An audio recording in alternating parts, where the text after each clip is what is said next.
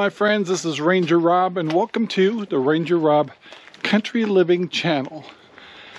And yes, it's a marvelous, sparkling day in Central Oregon. And today is, I call it kind of a special video. And uh, today is a day of gratitude. And uh, I've got a box with me. We'll talk about that box in a minute. but uh, what I want to reflect on is uh, this beautiful, beautiful uh, landscape we have behind me here. Uh, there was a time it was a beautiful, beautiful landscape everywhere. In fact, the word they use for that a lot is paradise. And uh, there was a time that everything around people was perfect. All the food we ever needed, the weather was great, uh, everything was in peace and harmony. And uh, just like we always do, over time we neglect it or take it for take it for granted. And uh, we start thinking we as people are are the creators of everything. And uh, we ruin it. And over time it gets taken away uh, as corruption comes along and greed and people thinking uh, all this is created by man and the whole works and eventually gets kind of it gets corrupted and and eventually you gotta erase the board. And uh, it's sad but you know history seems to be replaying itself. Now that's not to say that we shouldn't create things and be fruitful, have families and, and utilize the resources that have been given to us, like chickens and our gardens and uh, doing things together with people, doing positive things. Exercising our faith.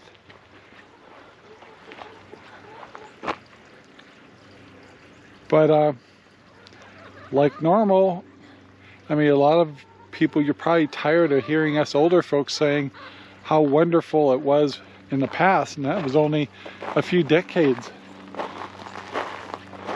of uh, family gatherings, feasting together, a good Christian uh, based uh, government as far as the United States are concerned. And uh, the family was strong. And uh, of course, we've got to mess that up too, don't we? So we watched uh, as time goes by diversity going overboard and inclusiveness going overboard. Not that those things aren't good in, in some areas, but over embraced in some cases. And so what we've uh, witnessed is a, a destruction of uh, family values, divorces, and single parents, and problems with our kids morals, empathy are all being questioned or neglected. And uh, it's sad.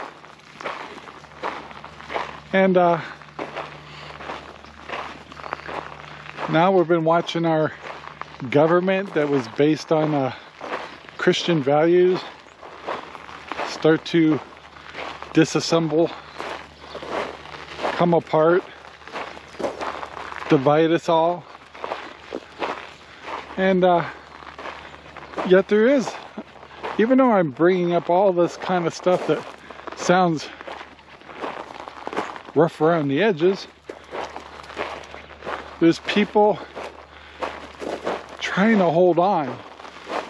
People trying to keep their faith. People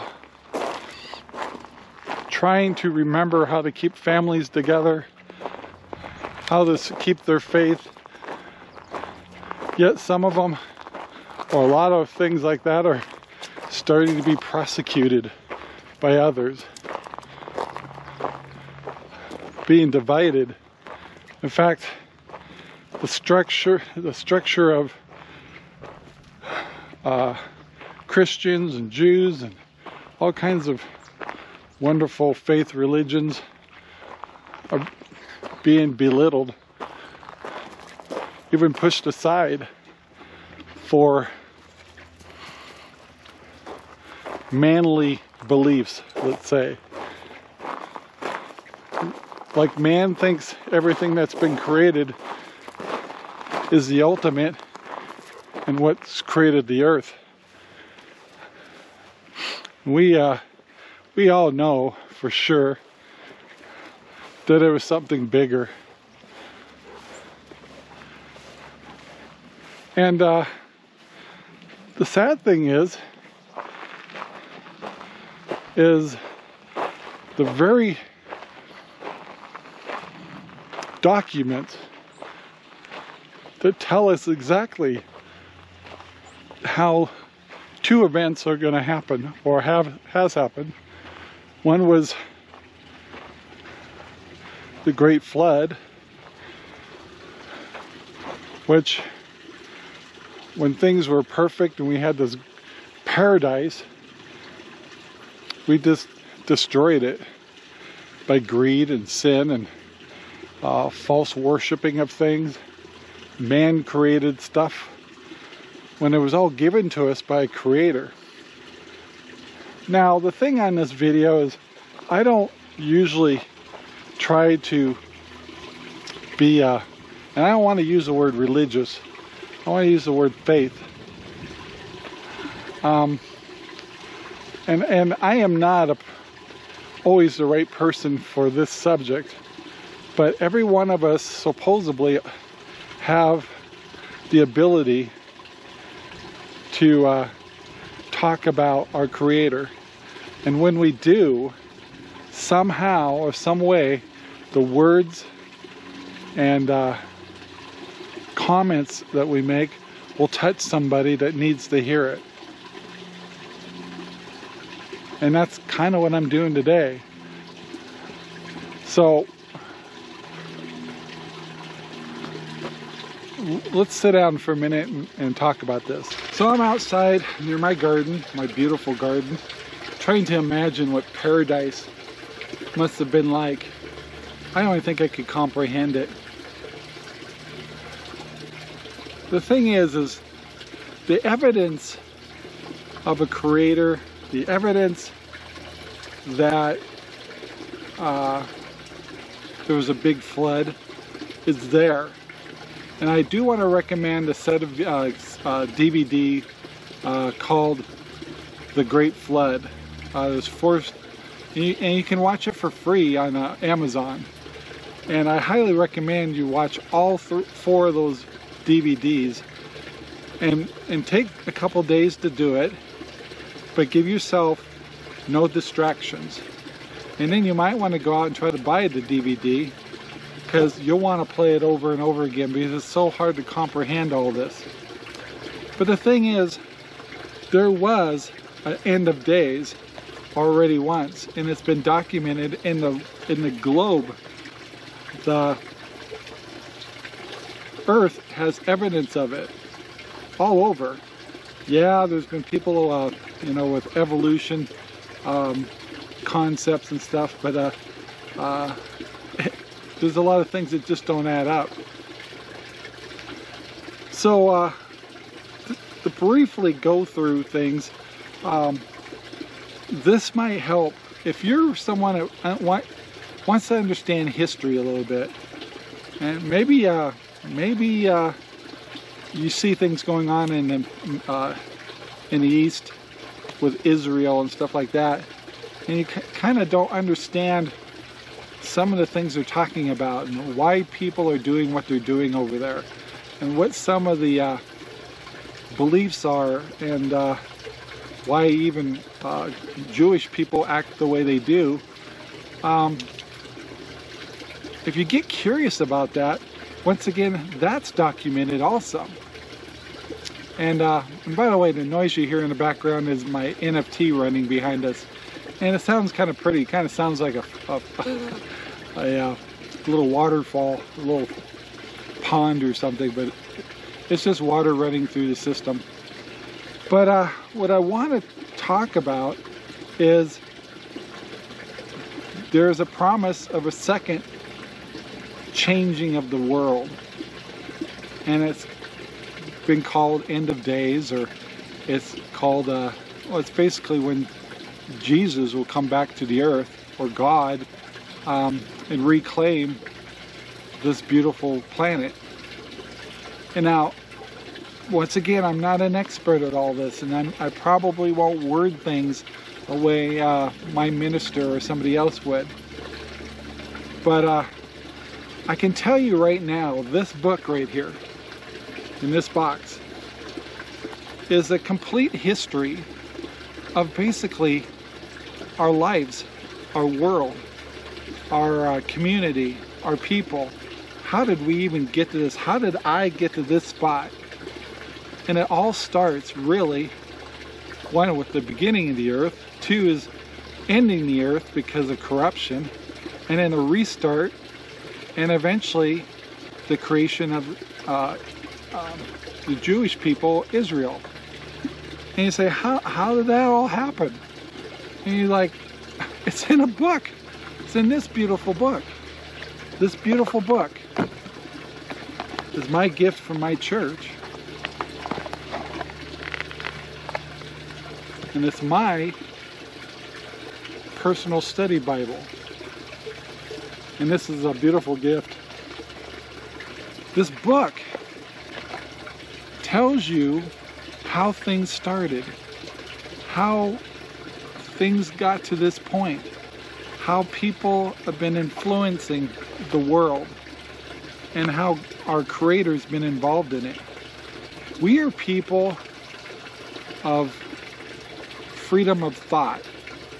We're not influenced by some super being all the time uh, interfering with our choices we have our own personal choice of how we want to live.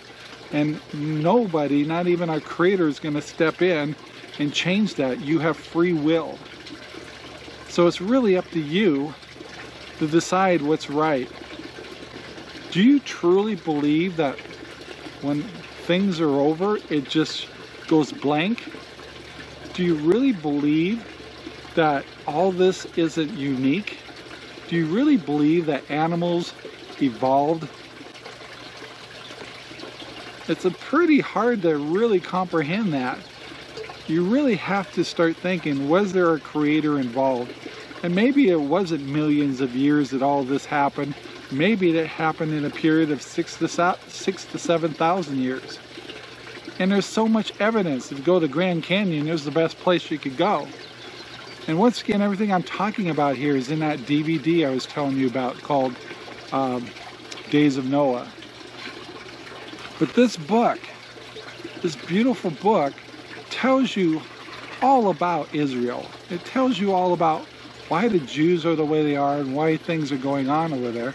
But at the same time, it tells you that yes, Israel and the Jewish people were special to our Creator, but He opened the door to us Gentiles, to all of us. And uh, he did that basically through Jesus. And now all of us have the opportunity to walk hand in hand with a creator. And once again, I don't want to make this video as a turnoff or a preaching thing. It's just, it's getting to a point that we're seeing corruption, we're seeing division, we're seeing the loss of empathy and morality. We're seeing our families and our, uh, our children corrupted with crazy ideas and things that just aren't right. To sit around a dining room table with our families anymore is so rare. And we're watching our land and our earth and our food and our weather and our politics and our government and on and on and on getting worse and worse and worse. And the point is, is something's happening. And that everything that's happening right now is documented. If you want to know what's going on and why things are happening the way they are and why we're being divided, why we're being deceived so much, it's in this book. It's in this book. One book. One book, the best-selling book in all all time. And if you're not one that likes to read or can interpret things, there's no excuse anymore. We have audio books. We have video presentations that help us interpret this book. I'm not a big heavy duty reader and when I read the Bible, a lot of times it doesn't sink in. I need help. So that's where my church comes in. That's where DVDs come in. That's where audiobooks come in to help me learn about this. So don't let that be an excuse that, oh, I read the, you know, the way they wrote the book and all that stuff. It's too hard for me to comprehend. Do it another way. They said in this book, it says that this message will, will be worldwide. And by gosh, with internet the way it is and all that, the mercy, this message is getting out worldwide. So I urge you to be curious. I urge you to wonder if if you're not feeling right, you have a gut feeling something's going on, it's intentional. It's basically good versus evil. And our job is in our own way to let people know what's happening. Now I'm doing in a uh, uh, a way that say a church wouldn't do it. I'm doing it as a homesteader, a prepper. Why do I prep? Because I know what's going to happen. I don't doubt what's going to happen. And I don't doubt what's going to happen to me when I die. No doubt. And do I have uh, issues? Do I have sins to deal with and stuff? Of course I do. All of us do, one way or another. Yet that can be erased, just like that, by just opening your heart and uh, embracing the new covenant, basically, that everybody has entitlement to the next life, which this is, if you can learn that this is only a short ride that living in these bodies and, and, and living the way we are, there's a eternity of a beautiful life in that old paradise I was just talking about. It's not over. Do you not close your eyes and you always have that voice in your head going blah, blah, blah, blah, blah. But if you look beyond that voice, do you not see a light, a star, an entity, a brightness, an impulse, or a ball of light showing you that there's something special behind you. And we, you might want to call that your soul, your light, your, your life light. Do you really think it's going to be extinguished? Just wiped out when you die and it just goes blank? End of story? Are we not that unique not to have a special entity inside of us, our spirit? Do you not think that spirit will go somewhere else after you die? This is just the body. And the older I get, the more I realize that you want to live life with fulfillment, fulfillment, and you want to live life in a positive manner, and you want to uh, be a good person, and yet you'll still wave off your journey but you can be brought right back on the right path by just using some common sense things and learning more about God and Jesus. I know all those terrible. I just use the word faith. Maybe you want to check out your faith. Maybe you should check out if there really is a creator. Maybe you want some answers to what's going on in the world. Why everybody's ready to go to war. Why there's problems with food. Why there's problems with uh, pandemics. Why there's problems with our government. Why we're being divided. Why we're not in, we're not tolerating one another. What is causing that? And it's documented exactly and everything that's happening right now is in this book. Show me or tell me anywhere else that can tell you what's going on. This is human history right here. And it's human future. It's been told to us what to look out for. And everything that is in this book has been coming true through prophecy. So I hope that this was a talk not to turn you off, but to maybe get you curious, to maybe, maybe I should start reading this. Maybe I should get some audiobooks. Maybe I should take Rob's uh, idea and, and go to Amazon, it's free, and watch the four DVDs, I don't get anything out of this, called Days of Noah. Because it'll go from the beginning to the end and use common sense, scientific knowledge, and information from the Bible to tell you what's happening. And we are getting so close to the end. But when I say the end, it's actually the beginning, a wonderful beginning. And yes, some of us may have to die for our cause, but we're called to do that. Or maybe I'll lose subscribers because of this, but I was called to do this. All of us are called to, to let everybody know that the time of reckoning is coming and there's something that all of us need to know or we our second lives may not be uh, I hope that's the right word to use as pleasant as it could be it all depends on you and your choices. So I hope I touch somebody's heart. I hope you realize that the most powerful weapon is love. And yes, our Creator doesn't tell us to sit around the couch and watch, watch football games. Just be prepared, be active, get involved. I've got a voice beyond just my property and that's my channel.